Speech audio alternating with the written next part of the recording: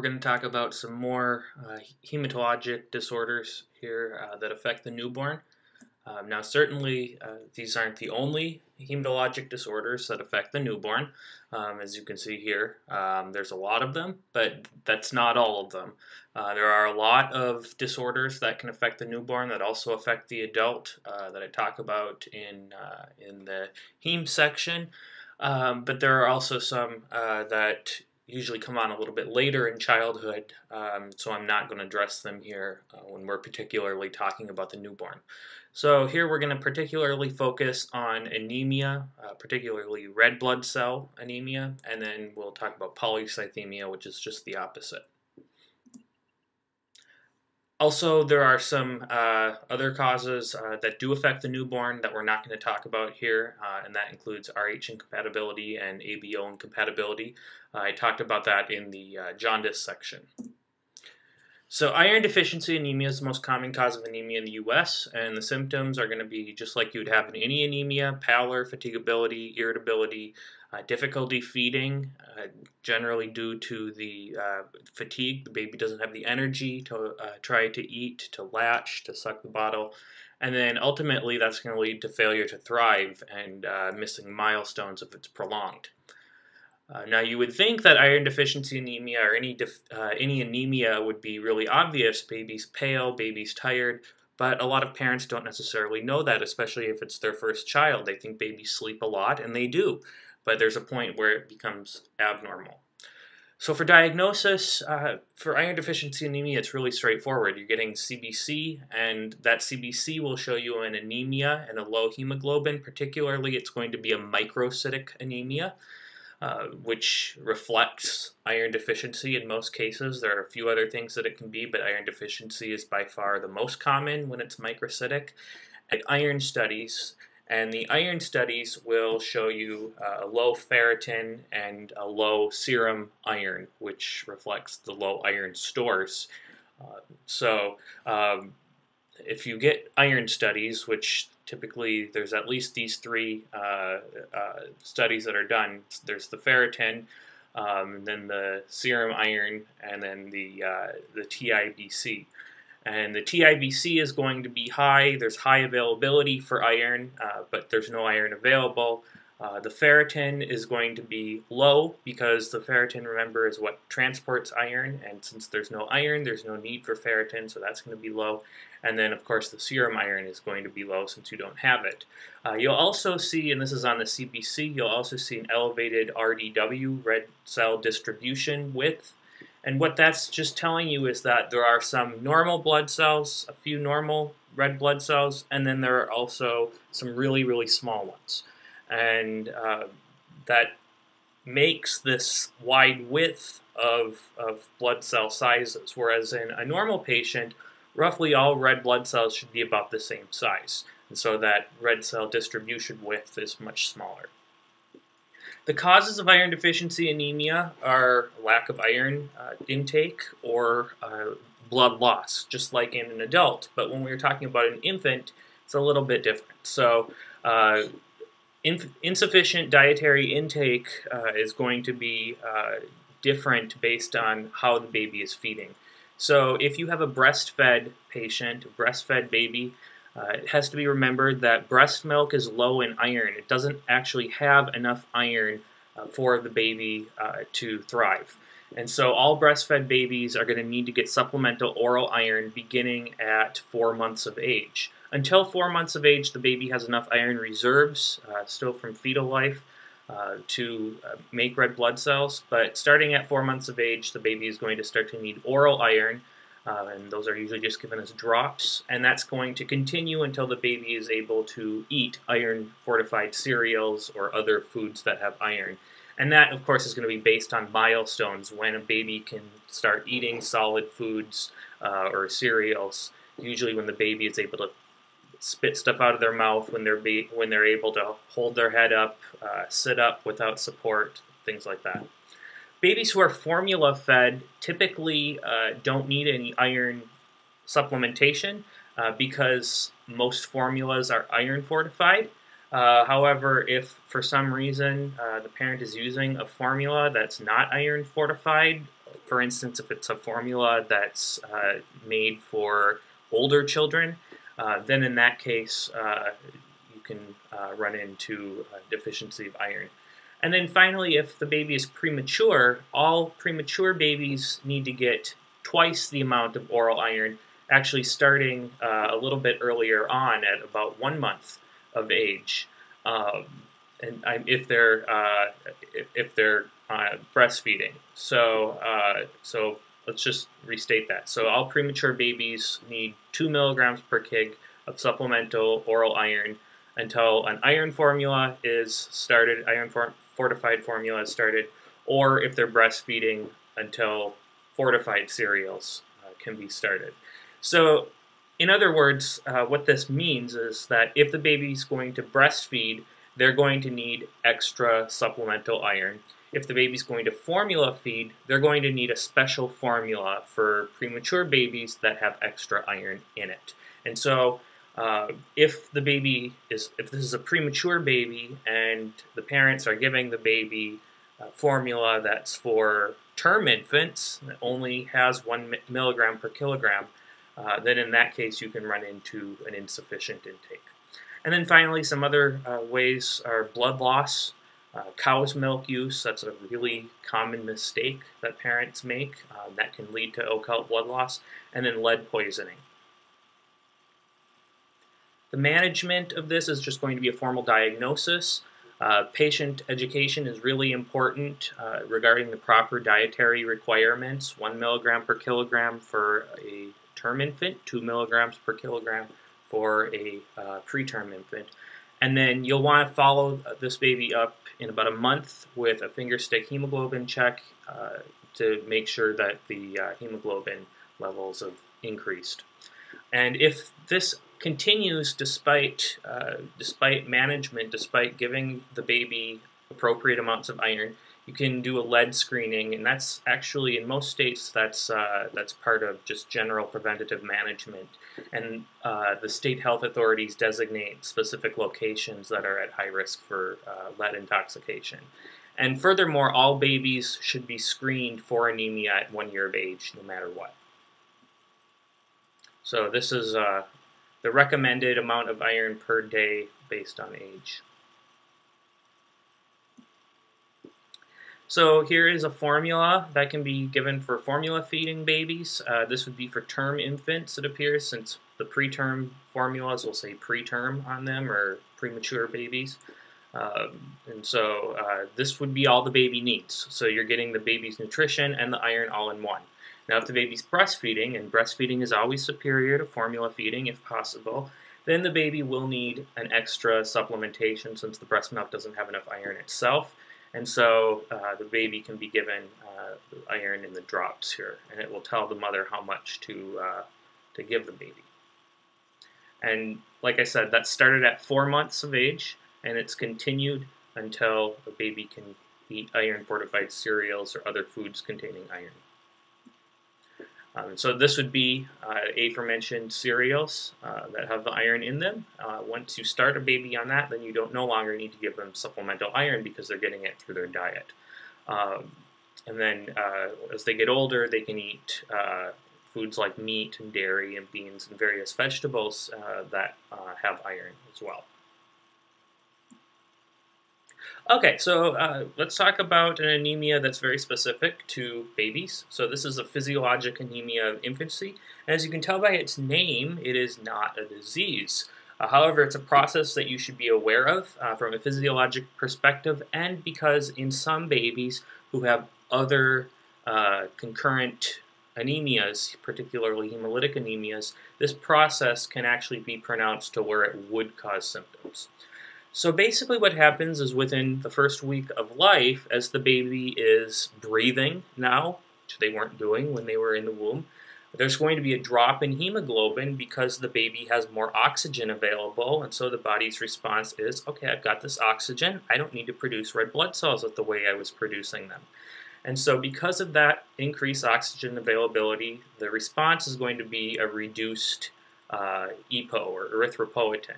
And that reduced erythropoietin is going to reduce hematopoiesis, but the problem is the result is uh, is that the red blood cell degradation is a little bit faster than the the, the baby's hematopoiesis because remember that fetal red blood cells uh, have a, sh a, shorter life than adult red blood cells. And so there will be a, a, a drop in uh, the hemoglobin. So this will result in a lower hemoglobin concentration.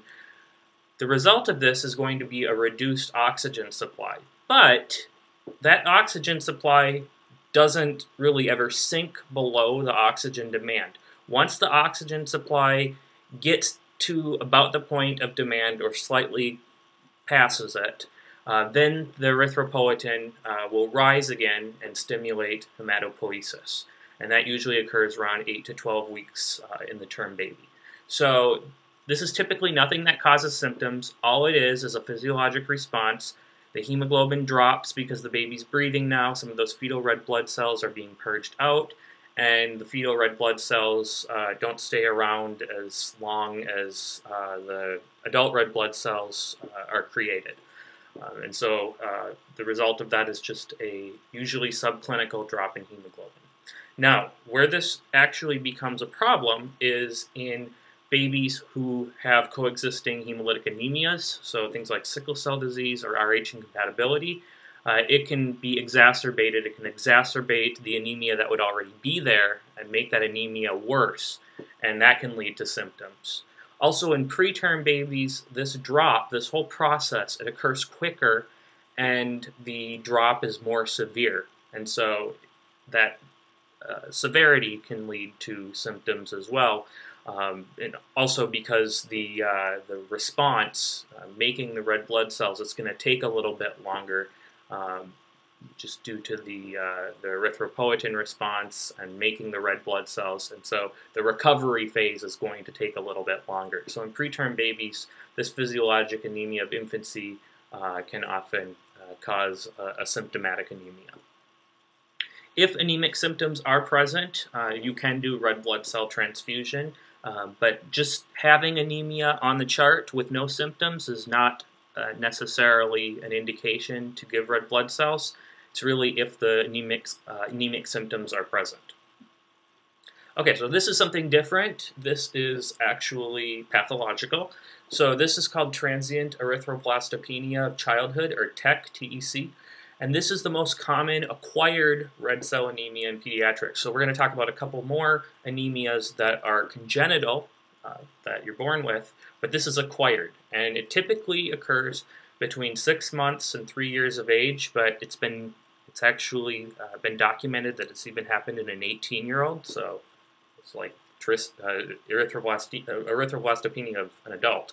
Uh, but uh, it can it typically happens between six months and three years of age. Um, and commonly it follows a viral infection, but we don't really know specifically what virus is more associated with TEC. So that's just uh, sort of a pearl. It's like come after a viral infection, but it may be an asymptomatic viral infection. Um, we don't really know, but we do know that it does commonly follow a viral infection. The symptoms are just anemic symptoms, so pallor, fatigability, feeding difficulties, irritability. Your workup, whenever you have a baby that you believe to be anemic, should always start with a CBC. And this uh, TEC is going to show moderate to severe normoblastic anemia. So that stands in contrast to iron deficiency anemia, where you had a microcytic anemia. Here you have a normoblastic anemia. The red blood cells are normal in size, there's just fewer of them. There can also be a neutropenia or a thrombosis. And the reason, uh, sorry, thrombocytosis, not a thrombosis, thrombocytosis. And the reason uh, that can happen is because as the red blood cell count drops, as the hemoglobin level drops, uh, what happens is your erythropoietin level goes up, and erythropoietin can have some uh, thrombo uh, uh, thrombocreative effects. It, it it shares some homology with uh, with TPO, which is what uh, what makes what helps make uh, uh, thrombocytes. So um, that's why you may see thrombocytosis in TEC. Uh, if you see sideroblasts, you should consider an alternative diagnosis like lead poisoning. Uh, now, the serum ADA is going to be really important for uh, diagnosing this. So, so we've got our moderate to severe normoblastic anemia, fine. A serum ADA is really important because what the serum ADA is going to distinguish is whether or not this is something that's going on in the bone marrow, uh, something more congenital, or if this is the acquired TEC. So uh, a serum ADA in TEC should be normal, uh, but if it's something else like Fanconi anemia, uh, then it's going to be uh, elevated. Uh, also, iron studies, uh, if you do perform them, uh, they'll be normal, but uh, with this CBC profile, there'd be no indications to get iron studies. You might get vitamin B12 and folate studies. Um, that would be normal too. Uh, so in some cases, you can see a normoblastic anemia if you have an iron deficiency anemia in coexisting with B12 or folate anemia, but that's it's a little more rare. Okay, so in most cases here, no treatment is necessary. Uh, this tends to self-resolve in about a month or two. If the patient has severe anemia, you can uh, do red blood cell transfusion, particularly if symptoms are present. But if more than one transfusion is necessary, you should entertain the possibility of a different diagnosis or consider that perhaps this baby has an immunodeficiency. Remember, that this often follows a viral infection. If there is an immunodeficiency, that viral infection can stick around a little longer and the TEC can last a little longer too. Uh, so that's uh, the consideration. So if more than one transfusion is needed, you should start thinking about other things, uh, but typically this resolves in a month or two. So this is diamond blackfan anemia. This is one of those more nefarious congenital anemias uh, that I was referring to, uh, where the ADA would be elevated, uh, unlike in TEC. So this is also referred to as congenital hypoplastic anemia, and this typically arises during early infancy, uh, around three or four months of age. Uh, the anemic symptoms become apparent early on, uh, two, three, four, five, six months of age. Uh, in addition, uh, you can see congenital deformities that are associated with diamond blackfan anemia, uh, but they're also associated with Fanconi anemia, so uh, it's a little bit difficult to distinguish just based on that. Uh, workup, as like for any patient who uh, is anemic, and typically any patient in general, you get a CBC. That's going to show a macrocytic anemia, just like TEC. there also might be some neutropenia or some thrombocytosis. Uh, the reticulocyte count is going to be low, and that reflects the bone marrow origin of, of this pathology.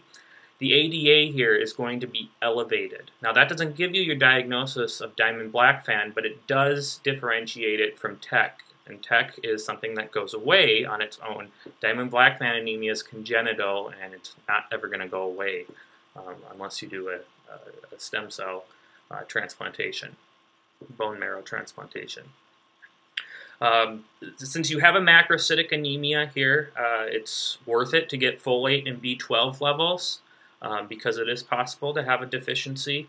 Um, that's usually going to be normal, although you know it is possible to have a folate deficiency plus diamond blackfan anemia, but typically this is normal. Parvovirus B19 can cause anemia, so you should always get a parvo B19 PCR. Um, that will be normal as well. And then the bone marrow biopsy will be done when you really have a strong suspicion of diamond blackfan anemia, and this is what's going to give you your definitive diagnosis. Um, and it's also important for differentiating this from Fanconi anemia, which we're going to talk about next. Um, in the bone marrow biopsy, there'll be decreased red blood cell precursors, and this, what differentiates this from Fanconi's anemia, and this is important to know, you should write this down, in diamond blackfan anemia, there's a normal chromosomal stability when uh, the the uh, bone marrow or whatever they're they're using is exposed to either diepoxybutane, uh, also known as DEB, or mitomycin C. Uh, so the chromosomes are stable. When we're talking about Fanconi anemia, it's the opposite. They're unstable. But otherwise, you have a very similar picture to diamond blackfan anemia. So here's our differential. So uh, in TEC, you have a normal ADA and then you recover spontaneously. So that's quite different. You also uh, usually have a normoblastic anemia and there's typically no congenital malformations that you see in diamond blackfan.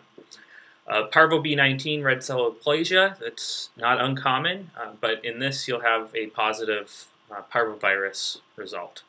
Fanconi's anemia is very similar to diamond blackfan anemia clinically and lab-wise, but the big difference is going to be that the chromosomes that you get uh, when you get your bone marrow biopsy, the, those chromosomes are going to be uh, fragile uh, when they're exposed to uh, DEB or mitomycin C. There's a couple other ones that we're not really going to talk about uh, in this uh, in this lecture, but I figured we may as well graze it a little bit just because even though they're rare, um, you can see them clinically and you may read about them in the literature. Uh, so one is called Pearson syndrome. It's very similar to diamond blackfan anemia, but there are a lot of other things wrong with these babies. Uh, they tend to have microcephaly, they have, tend to have small eyes, uh, they have increased skin pigmentation, vitiligo. You'll see a lot of those things in Fanconi's anemia too. But this is uh, what really sets Pearson's uh, apart uh, from Fanconi's and diamond blackfan, and that is these exocrine and endocrine insufficiencies of the pancreas, and that of course is going to lead to malabsorption and uh, type 1 diabetes. There's another one called Shwachman-Diamond syndrome, probably named after the same guy that came up with diamond blackfan anemia. That's very similar to Pearson's syndrome, but the the difference is that that's genetically distinguished based on a specific mutation. You don't need to know these for the USMLE, but for literature purposes, now you know. How do we manage diamond blackfan? Well, these patients should, of course, be referred to a specialist. Uh, typically, they're given uh, corticosteroids. That's really the uh, cornerstone of therapy for diamond blackfan, but most hematologists don't recommend giving steroid therapy until around one year of age. Uh, so if there's any, uh, if there's any anemic, severe anemia symptoms uh, in these babies before then, usually you'll do a transfusion. Uh, but uh, starting at one year of age, you can start to do uh, steroids, either IV or oral. and then as needed, you can give red blood cell transfusions. Typically, the target goal is to keep the hemoglobin above 9. And in diamond blackfan anemia, there is an increased risk for osteosarcoma. So this is uh, some things that you can see in uh, the face, both of the person with uh, Fanconi's anemia and diamond blackfan. Uh, so wide separation of the eyes, the nose tends to be beaked-like in projection, and you can see an epicanthal fold, more so in, in, in this kid here. Uh, and then you see the abnormalities of the thumbs. Also short stature. I'm not sure how old this kid is, uh, but uh, this is apparently referencing the short stature. Here's some thumb anomalies. Uh, so uh, you can have uh, these thumbs that are kind of like appendages, just kind of hanging off. Uh, these are hypoplastic thumbs. And then uh, you can have also uh, thumbs like these, which look like other fingers. I forgot the name of the, how, how they call this.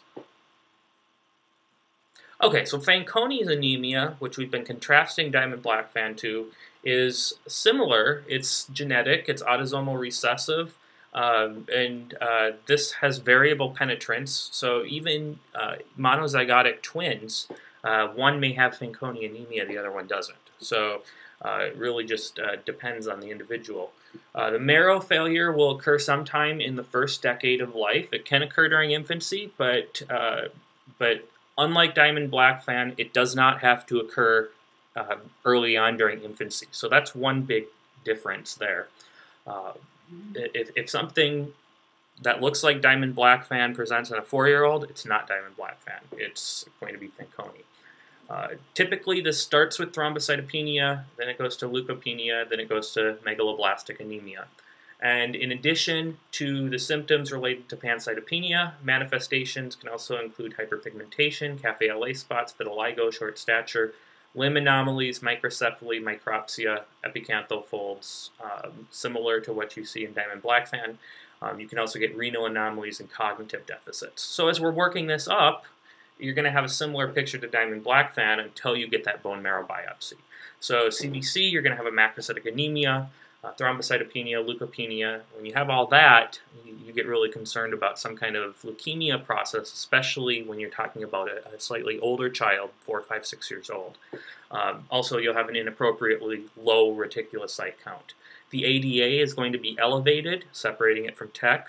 Parvo B19 will be negative, folate and B12 should be normal, and then the bone marrow biopsy will be hypocellular, and this is of critical importance. The chromosomes are going to be fragile when they're exposed to DEB or mitomycin C. And that's really your diagnosis there for Fanconi's. So the differential is pretty similar to that with diamond blackfan. You have a pretty similar differential diagnosis. The management here is a little bit uh, a little bit more involved because Fanconi's anemia has such a high uh, coincidence with uh, with uh, leukemia and myelodysplastic syndromes. So uh, you'll want to get a CBC every one to three months. You want to get an annual bone marrow biopsy, and that's really looking for those myelodysplastic uh, syndromes and for leukemia. In girls, they should get annual gynecologic screening starting at uh, menarche, and we are looking there for cervical cancer there, so getting uh, annual PAP screens. Uh, HPV vaccine should be administered to all patients at, at the appropriate age, and then, of course, uh, we're keeping vigilance here. Not only are we worried about anemia, or sorry, about leukemia and about myelodysplastic syndromes, but we're also concerned about tumors of the head and neck, of the esophagus, of the vulva, and of the cervix, and also of the anus. Um, these are primarily squamous cell carcinomas. Uh, then uh, the only uh, definitive cure is a hematopoietic stem cell transplant. So here's an example of some of those pigmentation abnormalities that you can see. Uh, so these are just cafe LA spots. And then this is uh, a young man here with uh, Fanconi anemia who is, uh, you can see this sort of more ruddy complexion, some pigmented spots, and then this is also uh, indicating the limb abnormalities. Cow's milk enterocolitis is something that is very commonly seen, uh, especially in uh, infants of new parents. You think, it's good to give my child milk. Milk is what we're supposed to drink. It's it does the body good, all that stuff that the, the milk lobby likes to put out there. Um, and it's true for adults, that's wonderful. Um, however, uh, you're not supposed to drink milk uh, if you're under one year of age. Um, the only milk that's okay for a baby that's under the age of one is human breast milk. Uh, not goat's milk, not cow's milk, only human breast milk. Uh, so cow's milk enterocolitis, it's called that way because it causes some GI symptoms, which ultimately is going to lead to uh, anemia if it goes on long enough. It's more commonly referred to, or more formally referred to as cow's milk protein-induced enteropathy syndrome. So there are a lot of different, uh, a lot of different uh, foods, food products that can cause uh, these protein-induced enteropathy syndromes, but cow's milk is probably the most notorious. So cow's milk should never be given to a child under the age of one. After the age of one, it's fine to start whole milk, but under the age of one, uh, it should be avoided. Another thing that should be avoided under the age of one, sort of unrelated, honey. So uh, cow's milk can cause enterocolitis. That can lead to occult blood in the stool. It's not going to be bright red blood per rectum. It's not even necessarily going to be dark, tarry stools. It's usually going to be occult blood. Over a long period of time, though, this loss is going to cause anemia and it's going to cause iron deficiency. The iron deficiency can also happen because uh, the specific proteins in the cow's milk can reduce iron absorption. Um, so you not only have anemia because you're losing blood, but because you're not absorbing iron, and that's really the two causes of iron deficiency anemia. Uh, cow's milk enterocolitis can also uh, upset the stomach, and it can lead to vomiting, and that vomiting can ultimately lead to dehydration as well. So you can see that there's a lot of things that can go wrong here. Anytime an infant has anemia, it's always, always, always important to ask the parent if they have been giving their infant cow's milk. So a baby under the age of one has anemia, You're going to do your CBC, you're going to do all your diagnostics, but the first thing you should do, ask the parent, have they been giving the baby cow's milk? Uh, even if the cow's milk is not the cause, they shouldn't be giving the baby cow's milk, so they should be aware of this. Uh, if they say, no, I haven't been giving my baby cow's milk, then you can eliminate this. Uh, appropriate foods for infants include breast milk, infant formula, and age-appropriate baby food, which under the age of one years of age never includes milk. Not goat's milk or cow's milk. No kind of milk other than breast milk. So polycythemia is defined as a hematocrit of more than 65%. Uh, there's some specific populations who have a high incidence of this, so that's going to be babies who are small for gestational age, babies who are large for gestational age, and those tend to be the babies who are infants of diabetic mothers. Some other causes of this include placental insufficiency, so baby's not getting enough uh, of mother's blood in the womb, the baby is going to ramp up their production, ramp up their EPO, and they're going to have uh, lots of their own red blood cells uh, in their circulation. Post-term delivery, uh, maternal smoking during pregnancy, and then, of course, the notorious uh, twin-to-twin -twin transfusion syndrome, which I'll show you a picture of that. The symptoms include plethora and ruddiness. That's probably the most obvious uh, symptom, but there can also be some CNS manifestations, typically what you see with hypocalcemia, so irritability, tremors, jitteriness, possibly seizures. There may also be some respiratory distress possible. Uh, priapism can be observed in male infants. It's a little bit uh, of a less common sign, but it may be there. And if the priapism is present, it should also alert you to another possible diagnosis, which would be sickle cell disease. And you can differentiate that on a smear. So this can lead to some really problematic, I'm sorry I misspelled problematic, some really problematic complications. One of the big ones, especially in the babies who are small for gestational age or babies who are premature, uh, is going to be NEC. Uh, about 40 to 45% of babies who have NEC also happen to have polycythemia as well. Uh, so that can be a problem. And it can also lead to thrombosis, particularly renal vein thrombosis. Workup is going to be a CBC. You can diagnose this immediately based on your hematocrit. If it's 65%, that's going to be diagnostic. You should watch the platelets as long as the baby is in the hospital because polycythemia is a very rare cause of DIC.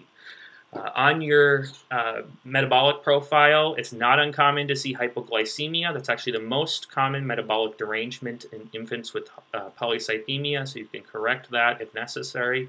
You should get a bilirubin because remember, if you have extra red blood cells, there, there's going to be extra red, red blood cell degradation, and that can uh, that can lead to uh, too much bilirubin than the baby can process, and so that would lead to uh, an elevated indirect bilirubin. Uh, the serum calcium should also be drawn. Uh, calcium is probably the second most common metabolic derangement, and that's probably what leads to these CNS manifestations. Uh, so usually the calcium is going to be low, and that uh, can be also that can also be corrected as necessary. And then you should also get uh, ABGs, particularly if the baby has respiratory distress, and that can uh, help you discern the possible cause. And I'll, I'll just note here that respiratory distress can be both a cause and a result of polycythemia. So this is twin-to-twin -twin transfusion syndrome. So you have two twins here. Um, one is polycythemic, the other one is relatively anemic. Uh, so just a little quiz here, which of these babies is more likely to fare better? The polycythemic baby or the anemic baby?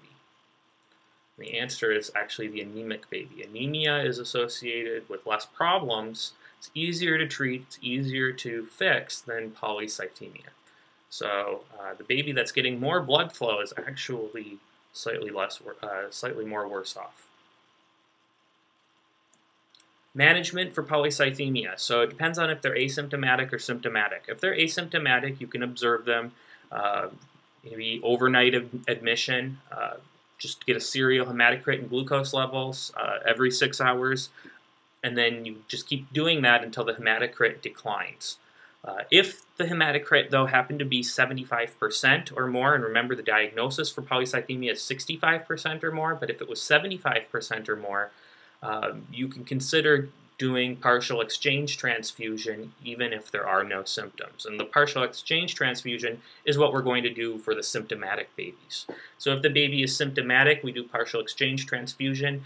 Uh, we should also manage fluid, electrolyte, and glucose levels as necessary. We have to always make sure that we're covering our basics as well. So uh, with that, you can uh, leave any questions that you have uh, below.